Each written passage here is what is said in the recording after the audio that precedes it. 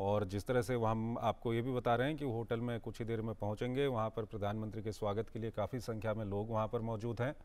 और इस वक्त आप देख रहे हैं, प्रधानमंत्री का वहाँ पर स्वागत किया गया, उनकी अगवानी की गई। और काफ़ी ऐतिहासिक ये प्रधानमंत्री की यात्रा है अमेरिका की, कई मायनों में। जिस तरह से हम आपको लगातार बता रहे हैं कि अंतर्राष्ट्रीय योग दिवस, जो संयुक्त राष्ट्र संघ ने शुरू किया वहीं संयुक्त राष्ट्र संघ में प्रधानमंत्री अंतर्राष्ट्रीय योग दिवस 21 जून को वहाँ पर योग कार्यक्रम का नेतृत्व करेंगे। कि हम आपको कुछ देर पहले के दिखा रहे हैं जब प्रधानमंत्री नरेंद्र मोदी वहाँ पर न्यूयॉर्क में पहुँचे और कुछ ही देर में वो अपने होटल में पहुँचेंगे, वहाँ पर भी लोग मौजूद हैं और लगातार वहाँ के दृश्य भी हम आपको दिखा रहे हैं। हमारे संवाददाता अशोक श्रीवास्तव हमारे साथ जुड़ चुके हैं। अशोक किस तरह का माहौल है? अब तो प्रधानमंत्री पहुँच चुके हैं वहाँ पर।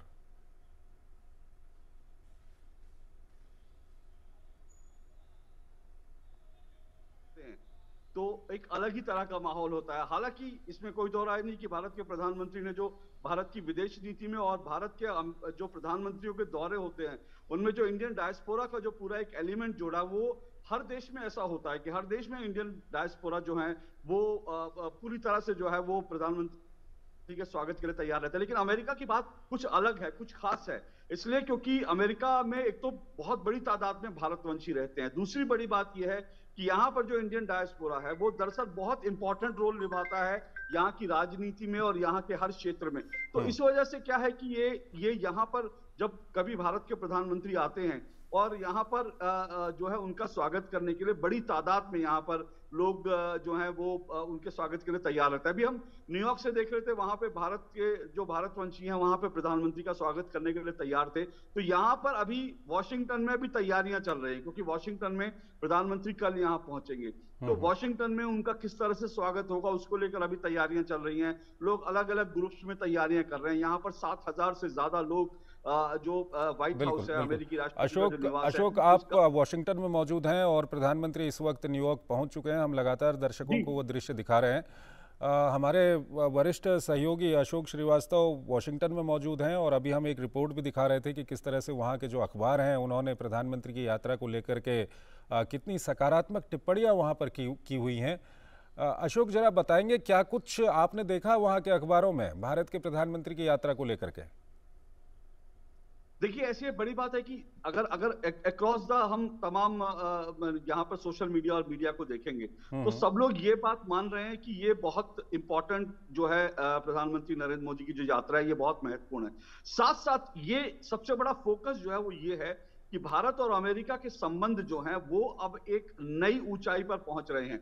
और ऐसा है कि इस वक्त दोनों देशों के लिए एक विन विन सिचुएशन जैसी सिचुएशन है। तो इसको तमाम मीडिया के लोग देख रहे हैं। और जो सुबह जो प्रधानमंत्री नरेंद्र मोदी का यहाँ पर वॉल स्ट्रीट जर्नल में इंटरव्यू छपा, उसमें प्रधानमंत्री नरेंद्र मोदी ने दोनों देशों के में जो एक विश्वास का पूरा वातावरण बना है, दोनों देशों में जो जिस तरह से एक दूसरे पर भरोसा बना है, उसका ज़िक्र किया, लेकिन साथ साथ ये भी कहा प्रधानमंत्री ने कि भारत का वक्त आ गया है जब ग्लोबल प्लेटफॉर्म्स पे जो अंतर्राष्ट्रीय मंच हैं हम्म। वहाँ पर भारत जो है अब अब अब एक बड़ी ताकत के रूप में जहाँ पर उसकी अपनी एक बड़ी भूमिका रहेगी उस रूप में भारत जो है पहुँच चुका है तो ये बात उन्होंने कही तो जहाँ तक मैं मीडिया की बात करूँ यहाँ पर प्रधानमंत्री का स्वागत करने के लिए जो है यहाँ पर जितने वॉशिंगटन में जितने अमरीकी सांसद हैं वो लगातार अपने वीडियोस जो हैं वो जारी कर रहे हैं अपने अपने अपने ऑफ़िस उनके जो है वीडियोस जारी कर रहे हैं।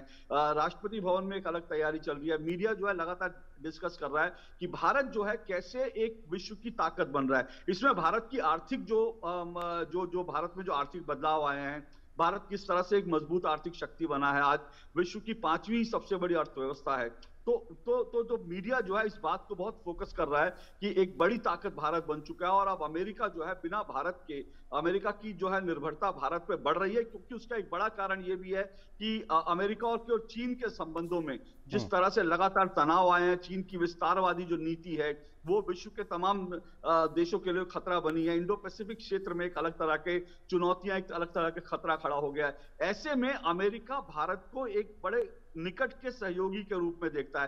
हालाँकि बड़ा स्पष्ट है ये भी बात हमको समझनी होगी कि भारत की जो विदेश नीति है और भारत की नीति हमेशा से ये रही कि हम किसी के पिछलग्गू नहीं बनेंगे हम किसी के ऊपर निर्भर नहीं रहेंगे हम अपने टर्म्स कंडीशन पर जो है किसी के साथ भी दोस्ती करेंगे क्योंकि भारत वैश्विक शांति की बात करता है इसलिए भारत का किसी के साथ किसी मुल्क के साथ टकराव नहीं है। हम दोस्ती बढ़ाने में यकीन रखते हैं तो इसलिए हमारा टकराव किसी से नहीं लेकिन संबंधों को जो है नेक्स्ट अशोक अशोक यहाँ पर आपने काफ़ी महत्वपूर्ण ये बात कही है कि भारत के सभी मुल्कों के साथ अच्छे संबंध हैं भारत के रूस के साथ अच्छे संबंध हैं भारत के अमेरिका के साथ अच्छे संबंध हैं भारत ग्लोबल साउथ की जो अफ्रीकी देश हैं उनकी आवाज़ उठा रहा है।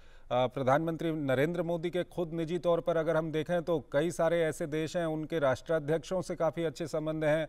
हम मिडिल ईस्ट की बात करें चीन की बात करें रूस की बात करें तो इस सब के बीच क्योंकि दुनिया एक तरह से दुनिया सबके अपने अपने पक्ष हैं वो ठीक है। लेकिन जो। तनाव है इस वक्त उससे दुनिया निकलना भी चाह रही है।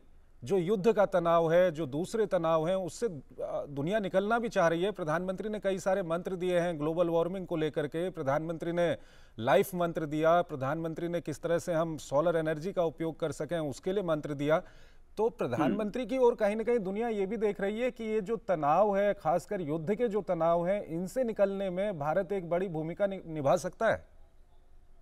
देखिए आपने बड़ी दिलचस्प बात कही क्योंकि जब तनाव की बात करते हैं तो भारत ने दुनिया को योगा दिया और कल जो है यहाँ पर यूएन में योगा होगा योगा डे मनाया जाएगा। तो योगा जो है क्योंकि हम हम आजकल की हमारी ज़िंदगी जो इंसानी ज़िंदगी चाहे वो न्यूयॉर्क हो वॉशिंगटन हो या मुंबई या दिल्ली हो हर जगह हम देख रहे हैं लोगों की जो ज़िंदगी है वो तनाव से भरी हुई है। और ऐसे में इस तनाव से निकालने में योगा कितना महत्वपूर्ण हो सकता है ये बात अब दुनिया समझ रही है। उसी हम्म। तरह से ये जो इस वक्त युद्ध की विभीषिका जो है दुनिया इस वक्त फेस कर रही है उस तनाव से निकालने में, में भी भारत की एक बहुत महत्वपूर्ण भूमिका हो सकती है ये बात सभी समझ रहे हैं। भारत के प्रधानमंत्री नरेंद्र मोदी ने आपसे पहले जब बाकायदा जब अंतर्राष्ट्रीय मंचों पर अपनी बात उठाई थी। जब दुनिया देख रही थी कि यूक्रेन और रूस को लेकर भारत क्या लाइन लेता है किस तरह से भारत अपनी बात रखता है? तो भारत ने एक ही बात कही थी प्रधानमंत्री नरेंद्र मोदी ने एक ही बात की थी ये युद्ध का समय नहीं है। हम्म। आप सोचिए दुनिया कोविड जैसी एक महामारी से निकली उसके बाद एक हम आर्थिक संकट के एक ए, एक दौर में दुनिया इस वक्त जो है इस वक्त हम अमेरिका में यहाँ पर जो महँगाई दर है वो आसमान छू रही है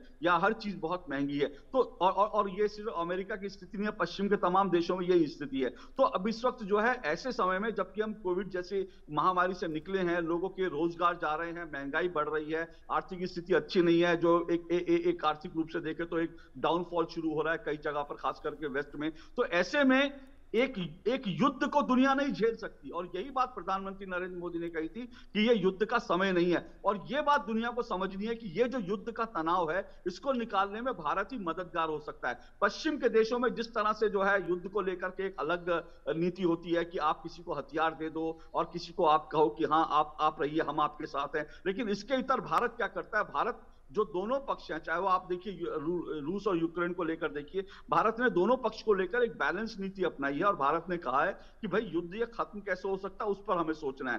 यहाँ पर जब 22 तारीख को अमेरिका की, अमेरिकी संसद में प्रधानमंत्री नरेंद्र मोदी संबोधित करेंगे, उस